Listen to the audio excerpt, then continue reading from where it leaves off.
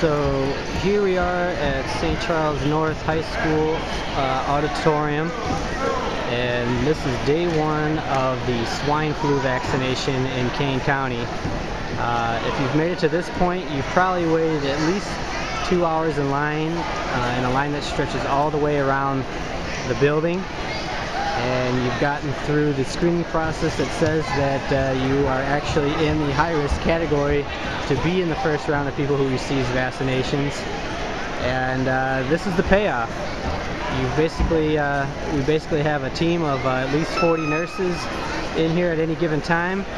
And they are giving the shots out uh, both the shot and the nasal spray uh, depending on um, your medical conditions and age and uh, what you qualify for.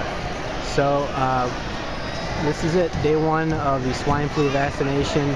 4,000 vaccinations set to be given out uh, here at St. Charles North. And uh, I guarantee you there's more than 4,000 people in a line that wraps all the way around uh, the high school, makes a full loop.